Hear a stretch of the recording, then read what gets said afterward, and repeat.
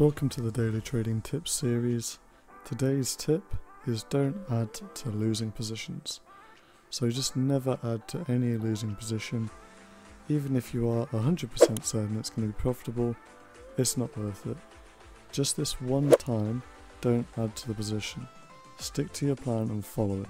If the plan says over leverage and add 20 positions to a losing trade, then go ahead.